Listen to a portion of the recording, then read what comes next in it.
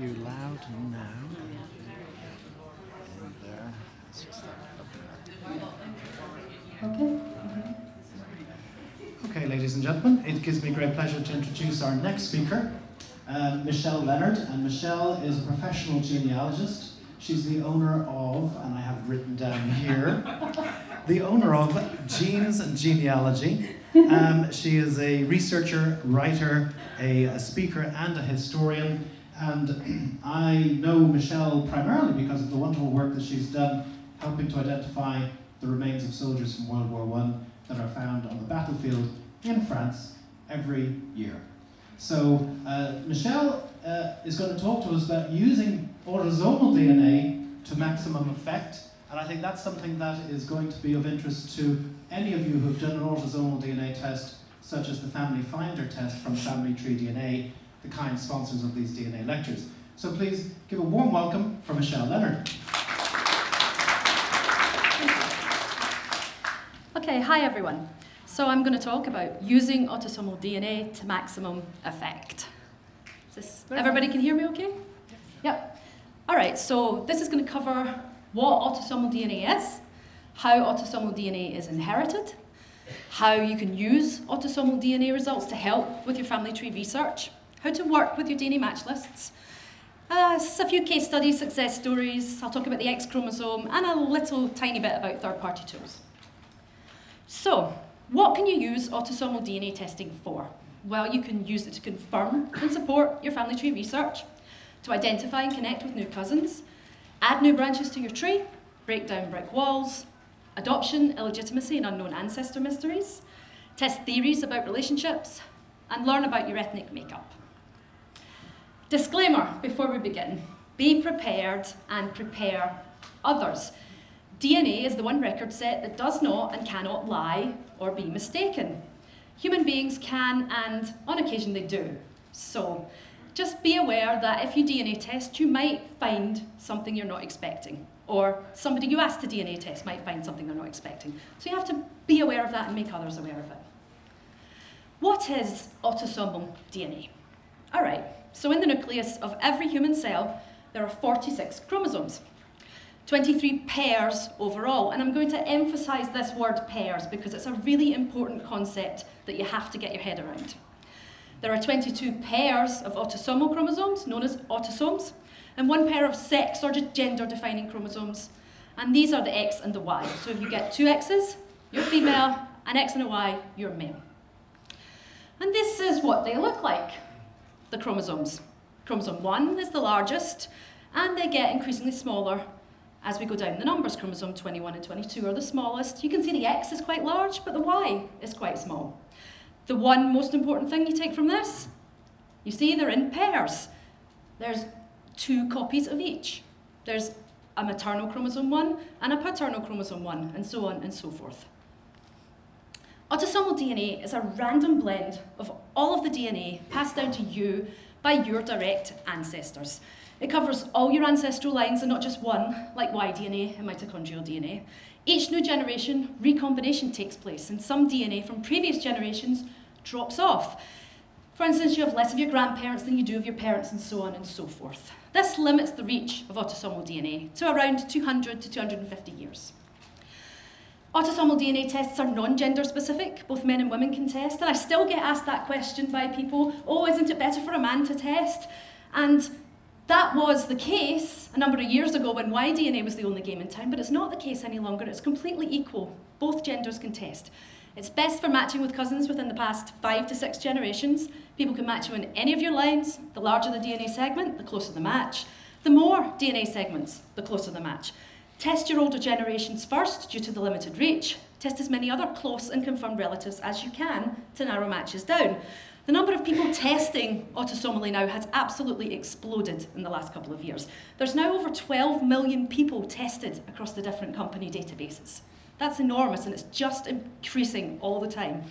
There are now five major testing companies that sell direct-to-consumer autosomal DNA tests. There's Ancestry, Family Tree DNA, 23andMe, MyHeritage, and Living DNA, which is the only British one of those. Get into the databases of all the major testing companies if you can, as you don't know where your best matches may choose to test. Family tree DNA, MyHeritage, and living DNA accept transfers. Living DNA doesn't yet have a matching database, but there will be one coming uh, pretty soon. Only Family Tree DNA and MyHeritage are here exhibiting today, so if you want to test here, you can go out and see them. How is autosomal DNA inherited? Alrighty, here's mum and dad, and here's you. Apologies to the men in the room. Dad has 22 pairs of autosomes and one pair of sex chromosomes. He's got the X and the Y. And mum also has 22 pairs of autosomes, and she's got two X's. And then recombination takes place, and dad passes down one set of 22 brand new autosomes, half of his 44 all jumbled up together, and his unchanged X chromosome. Remember, he's only got the one to pass down, so he passes it down whole. Mum does the same, she passes down a set of 22 new autosomes, half of her 44, again all mixed up together, and one of her X chromosomes. That's either going to be a mix of her two, like her autosomal chromosomes, or it's going to be one of them unchanged. So you now have 22 pairs of autosomes of your own, and two X chromosomes if you're female, and an X and Y if you're male. You inherit progressively less DNA from your ancestors with each passing generation. You get 50% from your parents, around 25 from your grandparents, around 12 and a half from your great grandparents, and it halves each generation. It's important to familiarise yourself with the amounts of DNA different relationships should share with each other. DNA inheritance is random, so these percentages numbers come in ranges and not absolutes. For instance, here's a range of sharing percentages, and these are averages. Uh, so we've got 50% parent-child, about 50% for a full sibling, about 25 for a half sibling, grandparent, aunt, uncle, double first cousin. There's lots of relationships at that level that could share the same amount of DNA with you. And the same first cousin, half aunt, great grandparent, they could all share the same amount, 12.5%. By the time you get down to third cousin, you're only sharing about 0.78% of your DNA. The only absolute here is that you share exactly 50% with each parent. All the rest are approximate. For instance, you could get 23% from one grandparent and 27 from the other. It's just down to how the cards fall. The other thing you really need to understand when you're trying to work out relationship predictions is the amount of centimorgans you share. Now, a centimorgan is a unit for measuring genetic linkage, and it's usually abbreviated to a small c and a big M. You don't need to be a geneticist to understand this. You just need to remember that the larger the number of centimorgans you share with someone, the closer the relationship is. And let's look at the amount of centimorgans. So you've got 3,400 for a parent-child, about 2,550 for a full sibling, 1,700 for grandparent, aunt, uncle, niece, nephew, half sibling, about 850 for a first cousin, 53 for a third cousin, but these are averages. You really want to be looking at the ranges. And this is how you do it. This fantastic project called the Shared CM Project, which is run by an American genetic genealogist called Dr. Blaine Bettinger. And he's gathered together lots of data on real confirmed relationships and has put it into this project and created ranges and averages. Let's look at one of them. This is for half sibling. Now the average is 1,783 centimorgans, but look at how large the range is. 1,300 to 2,300. Now, if you are a half sibling sharing 1300, you're a very low sharing half sibling. And if you're a half sibling sharing 2300, you're a very high sharing half sibling. So what we call these are outliers, okay? There's a really great tool that I recommend everyone uses now, and it's the Shared CM Project 3.0, and it's been created by Jonny Perl from DNA Painter. And it does the work for you. It's fantastic. So you get a new match in, and it the, the companies tell you that you share 250 centimorgans with this new match. You can go to this tool, you can plug in 250, and it'll give you all the relationship probabilities. For instance, here it tells us that's 3.35% of our DNA, and it says there's a 62% chance that that's a half great grand aunt, uncle, niece, nephew, or a second cousin, a half first cousin once removed, or a first cousin twice removed. Now, how many people are going to match a half great grand aunt, uncle, niece, nephew? Not many of us. So we can almost eliminate that and think that it's much more likely this person is a second cousin or maybe a half first cousin once removed. And that's a 62% chance. But what if it was an outlier? Well, if it's an outlier, you're probably down in that 12% probability bracket. And maybe it's a half first cousin or a first cousin once removed, a low sharing one. So you always have to keep these probabilities in mind. Um, you also get this when you plug that in, you get a little chart and it greys out all of the relationships that just can't fit and gives you the relationships that could fit. If you really uh, want to get into the probabilities of it, there's now this probability test tool that you can use to put in multiple different probabilities and get a compound probability for a hypothesis. It's really fantastic, especially when you're working on unknown ancestor cases. So the randomness of DNA inheritance. I've got a second cousin once removed who shares 295 centimorgans over 12 segments with me. And I've also got a second cousin once removed who shares 23 centimorgans over one segment with me. The exact same relationship level. Now what are both of these? These are outliers. And the reason I know they're outliers and not problems is because I've tested so many other relatives and those other relatives match these people in the expected ranges. It's me that doesn't, so I'm the outlier. But you just, just keep this in mind. Always look at the most likely first, but this is always possible. Genetic generations versus age.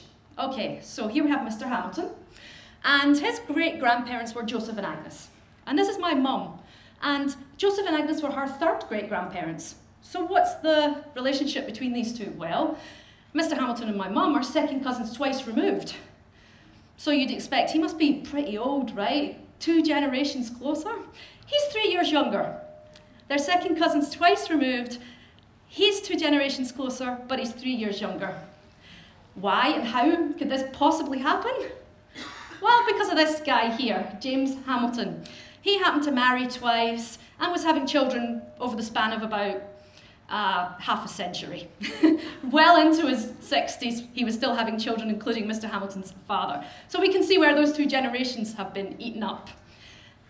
It's useful to know the age of your match and try to work out what the relationship might be from that. So always start, as I say, from the most likely to the least. It's still more likely that two people of a similar age are of the same generation. But as seen in this example, you can't take that for granted. Always keep in mind that people of a similar age could be one generation removed from each other, and even, in some rare cases like this, a whole two generations removed.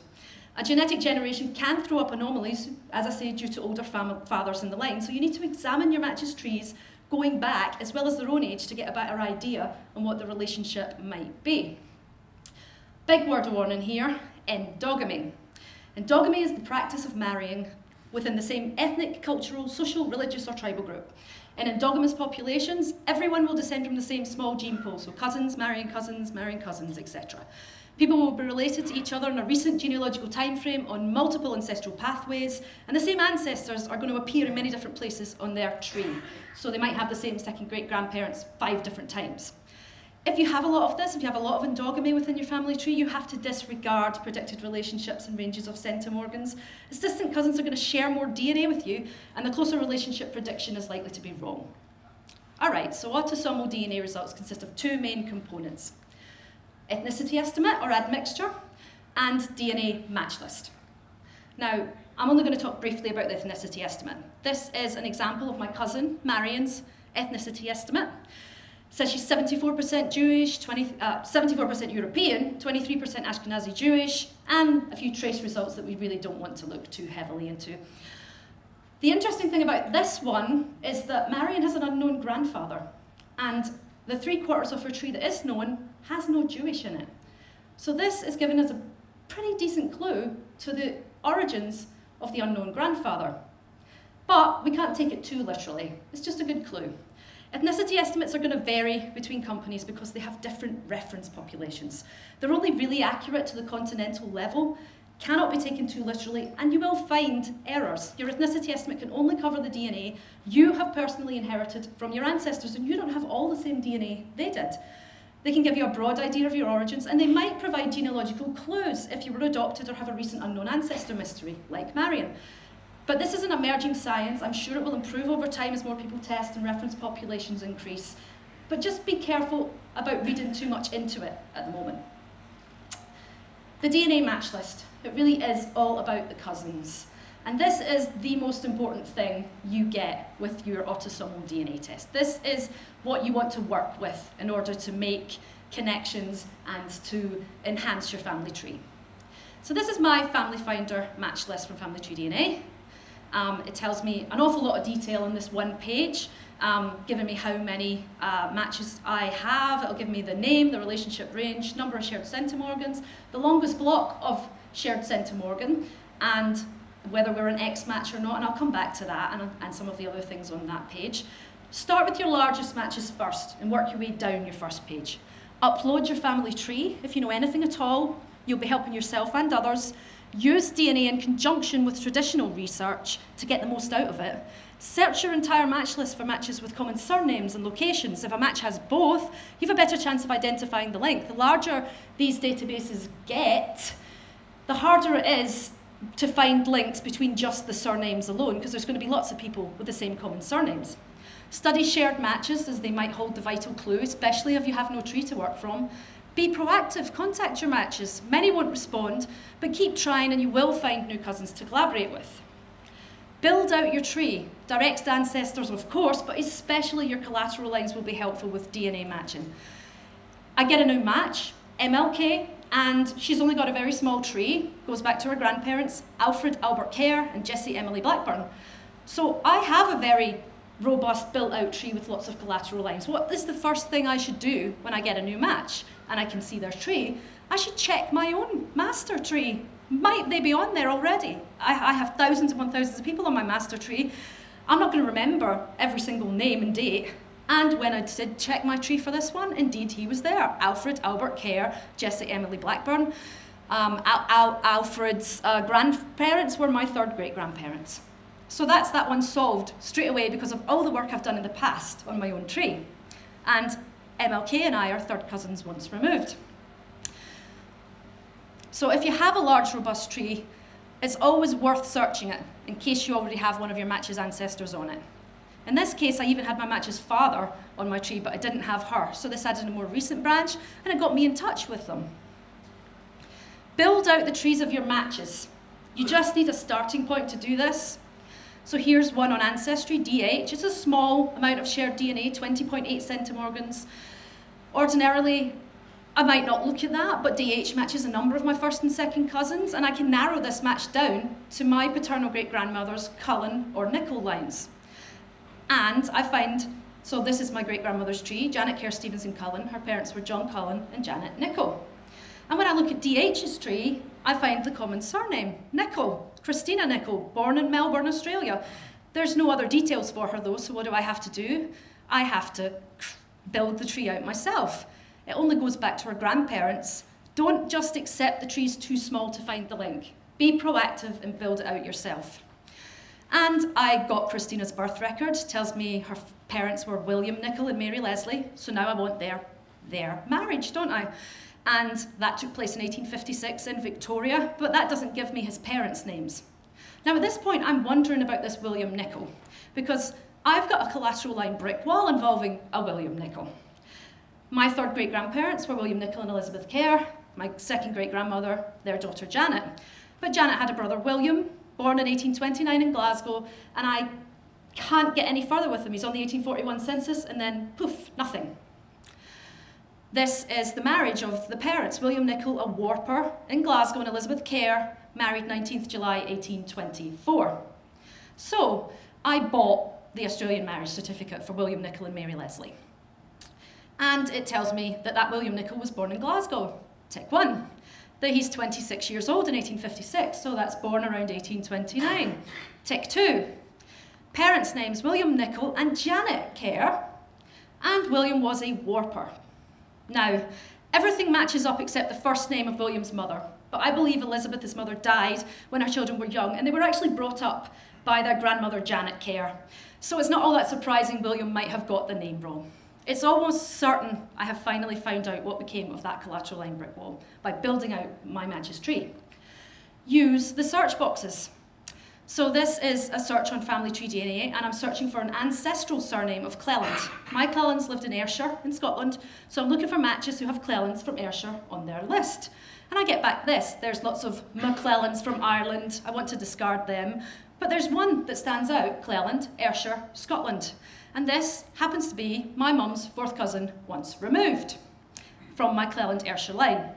So it's always worth looking for the common surnames and locations together. Make the system work for you. upload your tree. It really will help you.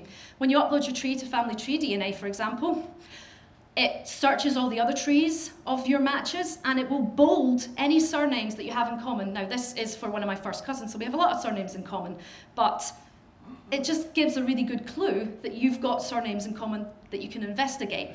The other the great thing you get if you upload your tree are these linked relationships. If you upload your tree and then link a relationship, it gives you uh, narrowing buckets, as they're called. So I've linked my mother as my mother, and that brings me this maternal bucket with all of the matches that also match my mother. So I can just click on that and just see my, my maternal matches. I've also linked all of my paternal first cousins, and I've tested a number of them, and they go in my paternal bucket. So anyone that matches them is in the paternal bucket and, and identified as a paternal match for me. So I can click on these two buckets and switch between maternal and paternal if I want to see the different matches. Not all of your cousins are going to match you. Close relationships and cousins up to second cousins will match you, should match you pretty much 100% of the time. If your first cousin isn't matching you, there's a problem. If your third cousin isn't matching you though, is there a problem? Well, maybe, but quite likely not. 10% of third cousins won't match each other. It's 50-50 at the fourth cousin level, and only 10% of fifth cousins are going to match each other at all. So you're lucky if you match a fifth cousin. Not all of your matches will be real cousins. Many small segments are false, known as identical by chance, and I'm not going to get into the science of that. But research suggests 100% of segments of 15 centimorgans or larger are what we call identical by descent, or real, okay? But only 14% of 5 centimorgan segments are real. So be really, really careful if you want to work with really small segments. Many of them won't be real. It doesn't mean totally discount smaller segments, but just don't make them a main focus. You've got plenty of higher matches usually to work on anyway. Test your older generations if possible. They have more of your ancestors' DNA than you do. Here's a match, PM, on my list, down as fifth cousin remote, largest block of eight centimorgans. Is that something I would ordinarily look at? Probably not. But I've tested my dad's first cousin, who's that magic generation closer to our common ancestors than I am. And PM is shoots up on her list to second cousin, third cousin, sharing 155 centimorgans with a longest block of 55. That's a really good match, and I want to investigate it now. And PM turns out to be my third cousin, my dad's first cousin's second cousin once removed. Should I test my siblings? This is a really common question that I get. And many people think there's no point testing their siblings if they've tested themselves. The answer I always give is it depends. The question can only be answered with another question. Do you have parents to test? If the answer to that is yes, I've got both of them, then test both your parents. Your siblings' DNA can't give you any more than your parents can. If your answer is no, or I've only got one of them, as is the case for many of us, then the answer is a big fat yes, yes, test your siblings. Why? Let's go back to how autosomal DNA is inherited to see why. Mom and dad again, you, and this time we're going to say dad's autosomal DNA is a pack of 100 DNA cards. And he shuffles his 100 cards up and passes a random 50 down to you. So there we've got them. And mom, she's got the same, and she shuffles her 100 cards up and passes a random 50 down to you. So you've now got 100 DNA cards of your own. It's a unique mix of 50% mum, 50% dad. Fast forward a few years, and along comes brother. And dad reshuffles his pack of 100 DNA cards up and passes a random 50 down to brother. Mum does the same. Brother's now got 100 cards from mum and dad, just like you, but did he get the same 100 cards? How likely is that? Well, it's as likely as you being identical twins, because those are the only people that get the same 100 cards. So, siblings share approximately 50% of their DNA. Using my playing card analogy, this means the average siblings share around 50 DNA cards with each other. But that means there's around 50 that they both have that they don't share with each other. Two siblings, therefore, should expect to have around 150 of their parents' combined 200 DNA cards between them. So if you don't have parents to test, then testing just one sibling might get you an extra 25% of your parents' DNA into the system. That's worth doing. And their results will give you an additional matches across all lines, since they're going to match people you don't on segments of DNA from your parents that weren't passed down to you personally. Let's see an example of why it's so helpful. Here's BC, on my 23andMe list is a third to fifth cousin sharing 0.42%. He's down near the bottom of my second page of matches. Isn't a match I'd get around to looking at, but it's not top of my investigation list. But I've tested brother. And look at brother's match list. Well, there's my mum and me as his top two matches. That's understandable. But number three on his list is BC, second to third, sharing 2.12% of their DNA. That's a whole lot more than he shares with me. Shares 159 with my brother and 32 with me. Now I really want to investigate this. And BC actually turns out to be my second cousin once removed. Another outlier on my side, but average sharing for my brother. How to narrow down your test results.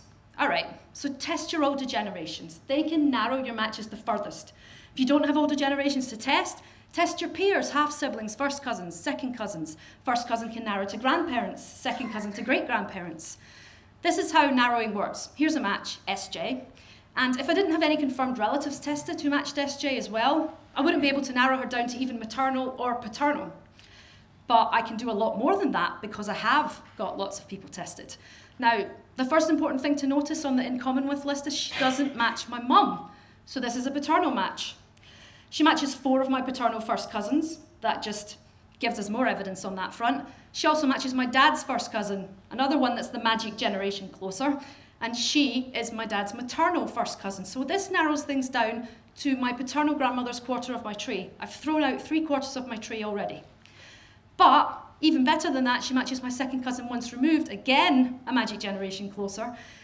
So I've now narrowed it to my great grandmother's eighth of my tree. That's really getting down to the nitty gritty now. And here's my great grandmother's eighth of my tree again. It's Janet Cullen, her parents John Cullen and Janet Nicol. So I'm going to see if I can break down a brick wall.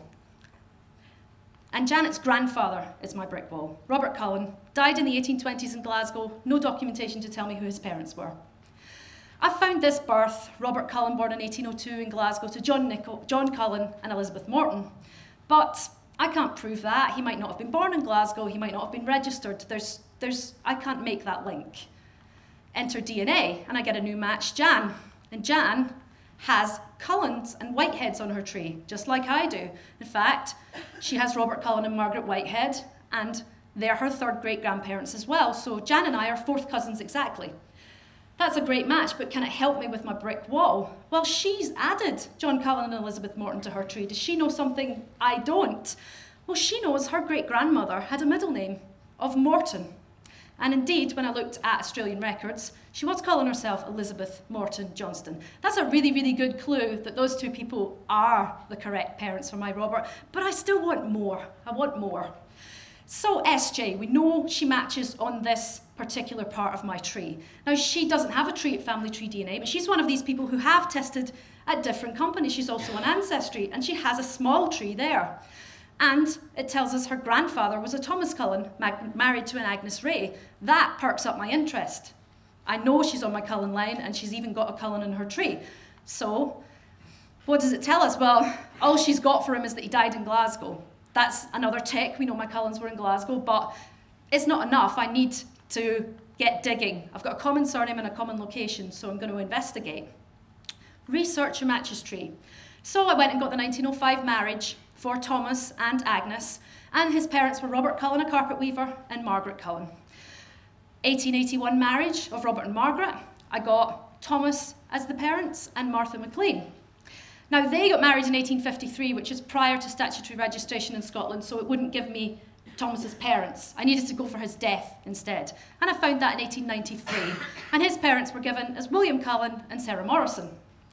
So I'm getting closer now and I looked for William's death, 1879, and guess who his parents were? None other than John Cullen and Elizabeth Morton. I now have proper DNA evidence that they belong on my tree. And uh, SJ is my confirmed fifth cousin. And in fact, I've had more DNA matches on this line since then. Another descendant of uh, John and Elizabeth sent me these absolutely amazing photographs. This is of their daughter Christian, who was born in 1793, and it was taken in 1855. And next to her is her daughter Elizabeth. I wouldn't have these photographs but for DNA matches. And I wouldn't even have any of these people on my tree but for DNA matches. So confirming lines on your tree. And this, to me, is one of the best things that DNA testing can give you. It's a gold dust to those of us who've been researching our tree for years and years and years to be able to verify it with DNA. It's so, so important. So let's focus on a match in my mum's family tree DNA list. And we're going to talk about Christy here. She's down as a second to fourth cousin, 94 centimorgans, 39 longest block. This is a decent match. We want to look at first at the in common with list. And who do we find on that? Well, we find a woman named Isabel, who is my mum's maternal first cousin and has tested for me. So that is probably narrowing Christy down to my mum's maternal side. But we want to look at this in the chromosome browser.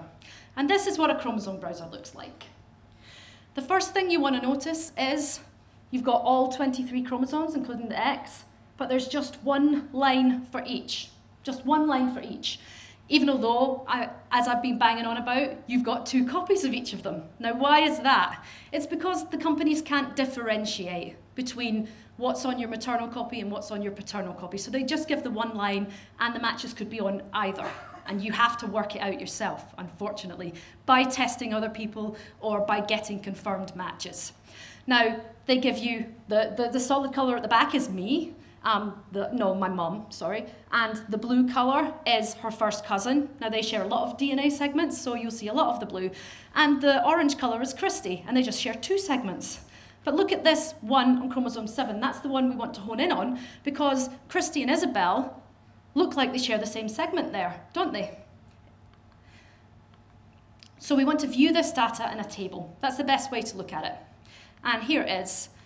What I do now is I add up all of the segments over six, seven centimorgans. I discount the little tiny ones, the ones, the twos, the threes, because as we've said before, they're most likely to be false. So now I've got a total of 71 over three cent segments. And you can go and check that with the shared CM tool that I told you about earlier to see the probabilities if you want, but it'll come out at about a third to fourth cousin being most likely.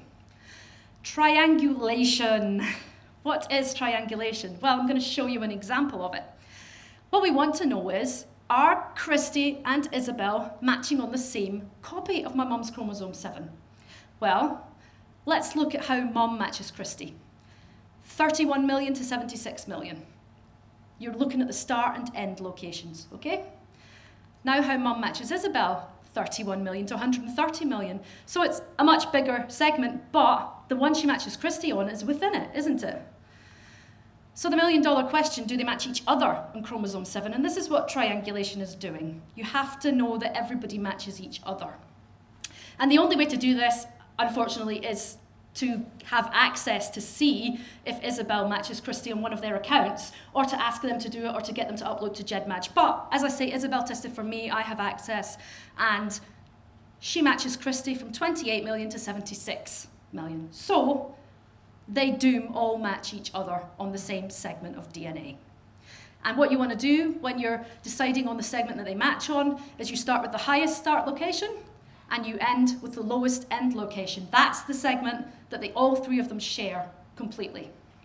So we've triangulated it. Mum, Isabel, and Christy all match each other on the same segment on one of their two copies of chromosome 7. So if this, they have the same common ancestor from whom they inherited this piece of DNA, and we know Mum and Isabel are maternal first cousins, so we know it's on that side. I'm not going to talk any more about triangulation because Maurice here is going to give a full talk on this subject tomorrow, so tune in for that. Let's check the common surnames now for Christy. And there's a number of them all bolded that could be given as a link. So I need to see her tree, and thankfully she has uploaded a tree. And I see a name on it that's really interesting to me, William Berry. And he's married to a Mary Bullock, and he's Christy's fourth great grandfather. So let's look at my maternal grandmother's tree, because we know that's where this match comes from. And I've got a William Berry, who was also married to a Mary, but he was married to Mary Somerville. Could they be the same person, cousins? What's going on here? Well, here's William marrying Mary Somerville in 1860. Says he's a carter and a bachelor. He also says he's 39 years old, and you can add a decade to that. And here's the marriage of William and Mary Bullock in 1841, so nearly 20 years earlier, in the same area of Lanarkshire. And where do I find Mary Bullock on the 1841 census? Well, I find her with my Berry family, my William's father John and his sister Jean, So he is my William Berry. He has married both Marys. Christy and I are half fourth cousins once removed. But what's going on? Did Mary die? Well, no. She's alive and well in the 1861 census. In fact, she outlived him. Um, and uh, she's living with her dad and her daughter, who is Christy's ancestor on the 1861 census, the year after he's married Mary number two, as I started calling her then. And it turns out Mary number one found out about his antics with Mary number two and shopped him to the police. And he went to prison for three years for bigamy. and I have these magnificent transcripts from the trial interviews with Mary number one, interviews with Mary number two. And Mary number two knew nothing about Mary number one, I'm completely innocent.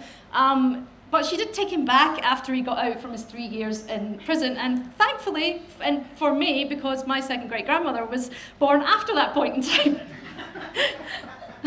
a little tip here Use the notes field to keep track of what you're up to. No matter where, and so this is family tree DNA, but no matter which company you're working on, there's notes fields on all of them, use them.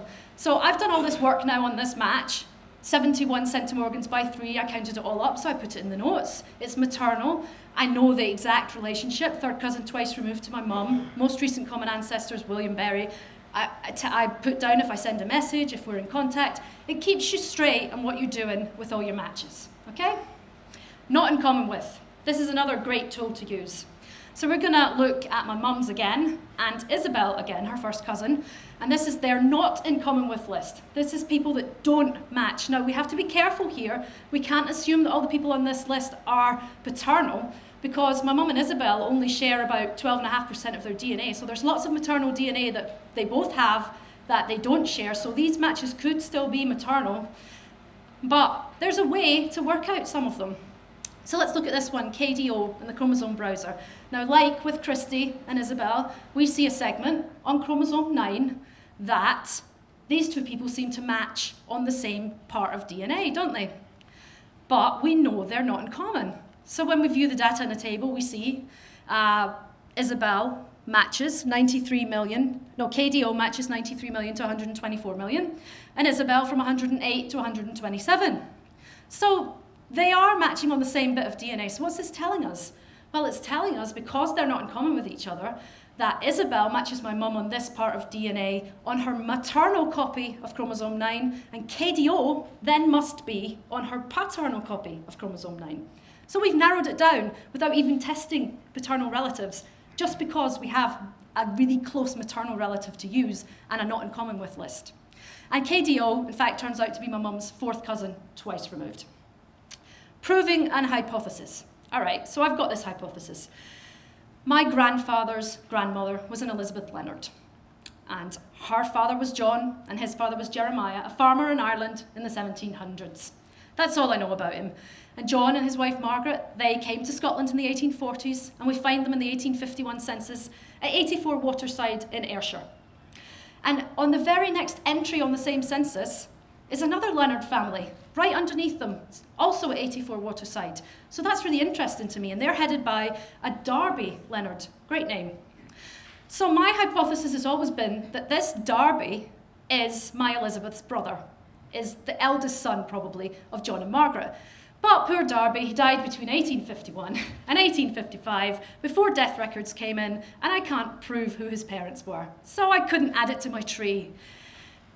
I did find a little bit more circumstantial evidence, though, that Darby is none other than the Irish nickname for Jeremiah, named after his grandfather, perhaps.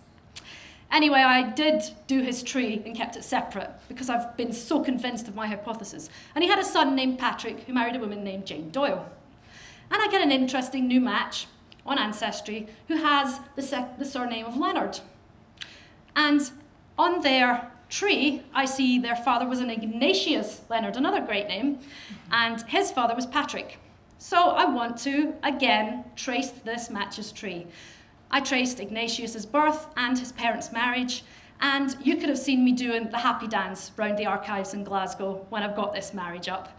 His father, uh, his grandfather Patrick married Madge McFadden, and Patrick's parents were Patrick Leonard and Jane Doyle.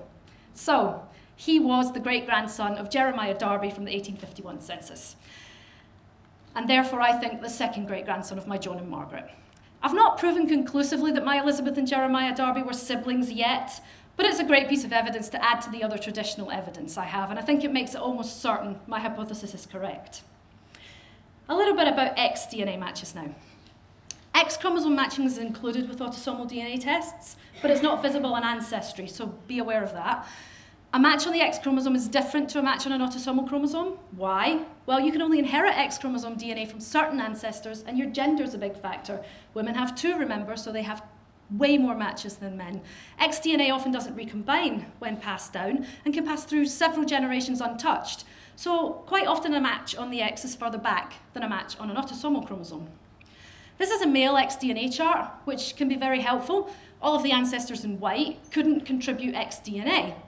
The ones in blue and pink did. But even on the side where you do have an X, there are still white lines that you can eliminate.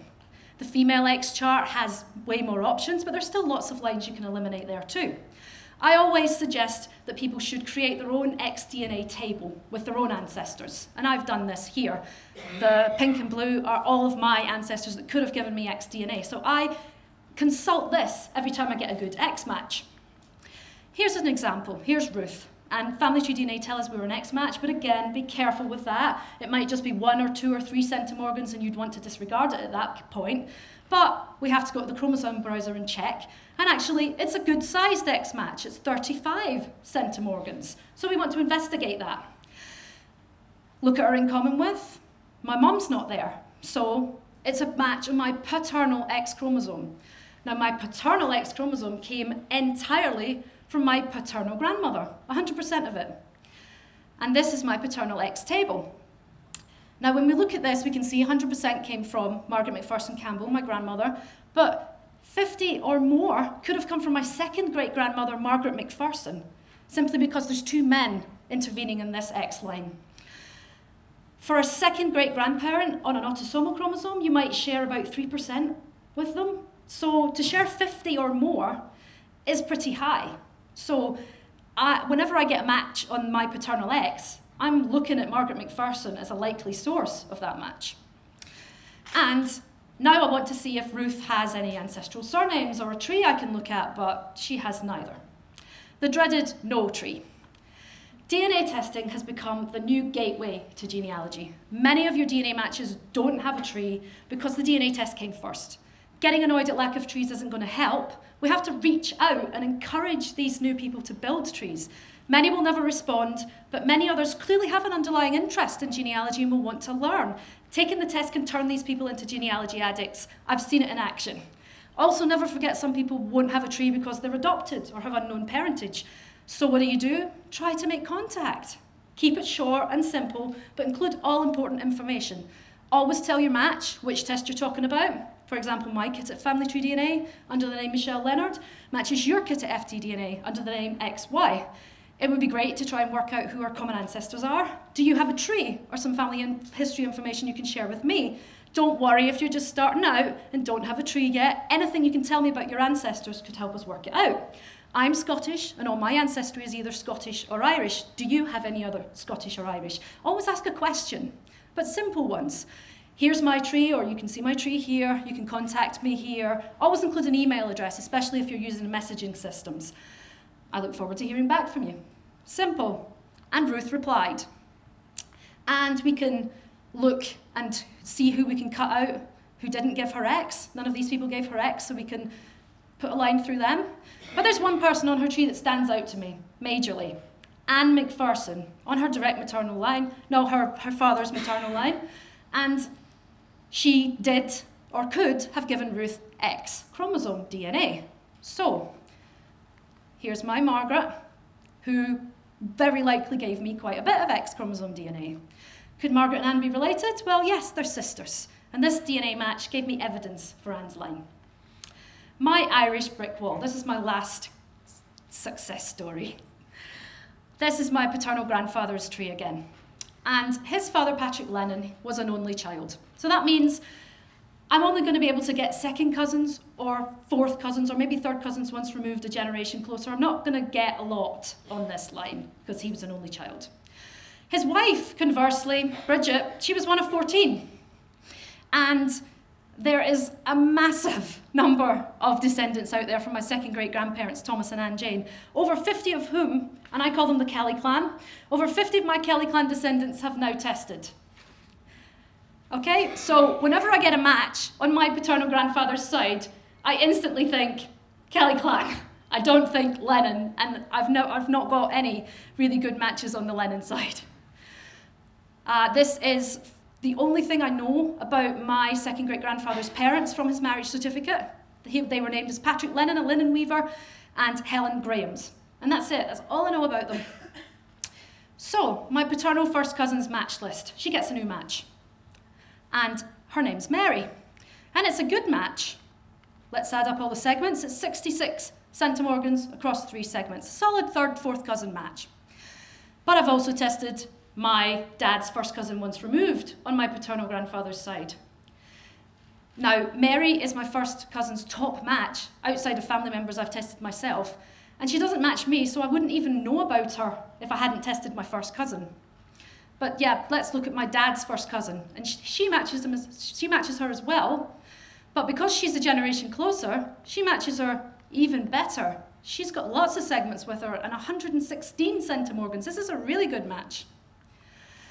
So I really want to look at Mary's tree because the big kicker here is she matches not a single one of the Kelly clan descendants, yet she's on my paternal grandfather's side. So it's almost certain she's from the Lennon line. And she sends me this tree, and it's small. She doesn't even know her grandparent, her grandmother's maiden names. So time to get digging. And I found an intriguing marriage possibility, and it's Stephen Carey marries Maggie Lennon in 1906 in Banbridge. The name Lennon, of course, is what gets me excited. and here's their marriage, and it says that her father was John Lennon, a farmer, and that, that she was residing in Drummiller in Scarva in County Down. Okay? But I couldn't be 100% sure this was the correct marriage. The only way to be certain was to see Mary's father Brendan's birth, but he was born in 1918, just outside the 100 years for online searches. This meant it had to be looked up in PRONI, down the road, in person. So I asked Martin McDowell of the Northern Ireland Family History Society if he could help me, and he kindly looked it up for me. And this confirmed that Brendan's mother was indeed Margaret Lennon, and I'd guessed correctly. Huge thanks to Martin for this, and I was very excited at this point. so I went and got her birth in 1880. Margaret Lennon, born 11th November 1880 at Drummiller, to John Lennon, a weaver at this point he was, and Catherine Convery. So let's get their marriage. And they got married in 1870, and his father was put down, goosebump time for me, Patrick Lennon Weaver. Okay? Now remember that my Michael's father was Patrick Lennon, a linen weaver. John died in 1915, aged 78. So he was born around 1835 to 37. My Michael was born around 1825 to 27, according to census returns. Was John my Michael's younger brother? I think it's very, very likely due to the amounts of DNA shared between Mary and my paternal relatives. And I found a potential birth for John in 1836 in County Down to Patrick Leonard and Ellen. Is that my Helen Grahams? It's not proven yet, but it's very possible. Considering the large amount of DNA shared, I just don't think this could be any further back than Patrick and Helen, this link. But it's a work in progress. I need to do more. I've not yet proven the DNA from, came from them. I need to trace Mary's maternal side, make sure there couldn't be a match there. I'd like to test some of her first cousins, um, try the Y, perhaps more baptisms, etc., etc. There's lots to do. Advanced tools. Martin McDowell talked about this advanced matching tool uh, earlier in the day, and I like to use it to see if somebody matches me on both the family finder and the mitochondrial, or the family finder and the Y. So have a look at it. There's also the matrix tool, which you can use to see how 10 people all match each other, and if they all match each other. These are all my family, so yes, they pretty much all match each other. But it's a good tool to use. Third-party tools, Make the use of them. The most important is GEDmatch. GEDmatch is a fantastic and free third-party tool that can help you match against those who have tested all the major companies, and it provides better tools for analysing matches. DNA GEDCOM, Genome Mate Pro, and DNA Painter. This is GEDmatch. These are the tools I suggest you use, one-to-many, one-to-one, X one-to-one, and people who match both kits. Um, this is what the, the matching uh, one-to-many match list looks like. Uh, it can be a bit daunting, lots of numbers and everything, but it's really only giving you the same information that the family tree DNA match list gives you about the number of the, the number of centimorgans and xDNA, and it gives you email addresses. There's also tier one utilities, which you can spend $10 a month for. And I recommend this once you've got a little bit more used to the regular GEDmatch tools. DNA GEDCOM has some great tools, especially the autosomal DNA segment analyzer, um, which helps you visualize how your matches match you on, on the different chromosomes. GenomeMate Pro is a fantastic tool for organizing your data, and I use it on a daily basis. It is not easy to set up, it's time consuming. So be careful with that, and some people prefer spreadsheets, but I like it. And I can do chromosome mapping on it. So this is my segment map and What I'm doing here is I am mapping bits of my DNA back to my ancestors and my ancestral couples. So they all get different colours, and I know that these bits of DNA came from those ancestors via confirmed cousin matching. DNA Painter has a similar thing that you can do, and they just have a few different uh, and exciting tools that you can use to do it. A few resources for you. ISOGG, International Society of Genetic Genealogy. Join, it's free. Explore the ISOGG wiki, read blogs, join Facebook groups, watch webinars, YouTube videos. There's lots of help out there. Traditional literature, I would recommend Blaine Bettinger's Family Tree Guide to DNA Testing and Genetic Genealogy, and Emily Aulicino's Genetic Genealogy, The Basics and Beyond, which is on sale at the Family Tree DNA stand for £17 today. Summing up, use your DNA results in conjunction with traditional research for best results. Test close relatives, especially older generations, to narrow your matches down and gain more of your ancestors' DNA. Upload your family tree, no matter how small, make cousin connections and work together, organise your data, and take advantage of all the help out there. Practice, practice, practice, and have fun with it. Uh, I don't have a printed handout today due to a printer malfunction, but um, I've put it on uh, line, so there's the digital copy if you'd like to take that down. And thank you, Michelle Leonard. Wow, what an amazing run through of everything you possibly could have needed to know about autosomal DNA. Uh, the good news, of course, is that it's being recorded for YouTube. Um, it's also available as of now on the Genetic Genealogy Ireland Facebook page. All of these lectures will be. But if you want to see uh, Michelle's lecture again uh, on YouTube, of course, you'll be able to pause it and then start it, and then pause it, and then start it. Sorry, I know I talked so fast to get it all in, but it is, it is fast. It again and again, you know, at your leisure. It is very fast. Of your own home. I but I mean, you did, you did a fantastic job getting as much information into that lecture as, as absolutely possible. Um, questions for Michelle? Do you have any questions for Michelle? Or has you explained absolutely everything and you've got nothing left? So you know everything now. Okay, questions for I've John just Reid? destroyed their brains, I think. Hi, John. Hi, uh, Mish, a quick question on Hold it up, John. Shared Cent- Centimorgan uh, project. hmm Do you know if they have excluded the endogamous cases? Well, he, there, yes, there is a question whenever you uh, put any data into the shared CM project. Um, there's a question that asks: Is is is this does there endogamy within this relationship? So I don't know exactly what he's doing with the endogamous ones, but he does ask. So I presume he's excluding them and keeping them separate. Um, but that's something that I would need to ask him. But he does ask that question, so I presume that's why. I don't think it is included.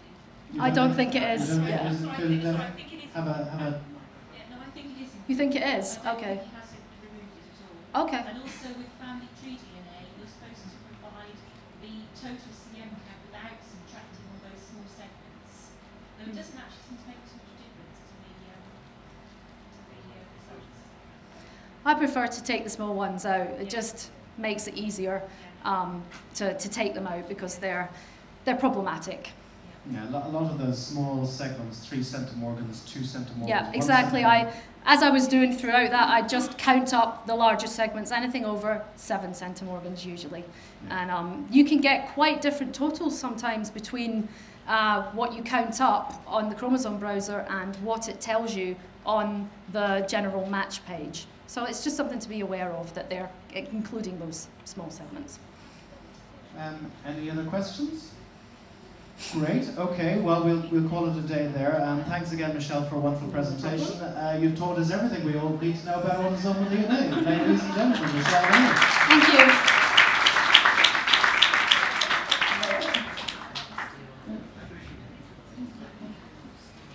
And the next presentation here will be James Irvine talking about the uh, uh, uh DNA of a Scots-Irish diaspora. And that will be in five minutes' time. Hold on, Michelle.